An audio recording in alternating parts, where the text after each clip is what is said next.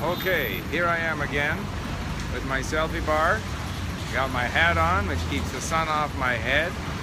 Uh, we've had three days in Myanmar. I want to say it's one of the nicest holidays I've had.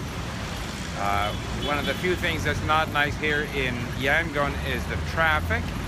Uh, it's been very interesting because if you look at that billboard off in the distance, of course I can't read a word.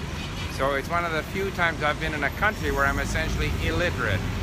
But the people here, I'm going to speak a little louder with all the traffic noise, the people are so friendly. It's such a nice feeling. We were in Yangon for two days, then we went to uh, Inle Lake, which is spectacular. It was an amazing experience to travel on the lake.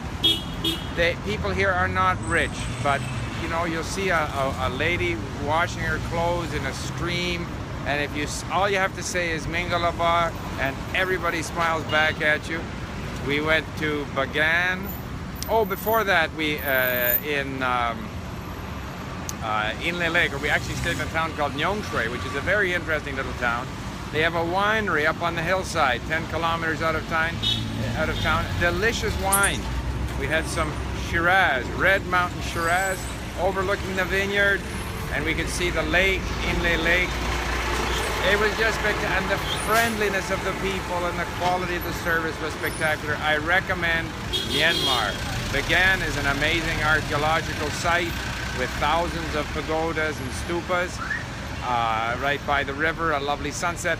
And one day, when I have time, I'm going to take all the videos that I made and edit them and put together a video of my uh, a visit here in Myanmar, but I heartily recommend anyone that's looking for an interesting destination, friendly people, interesting things to see, good food, not expensive, make sure that you go to Myanmar.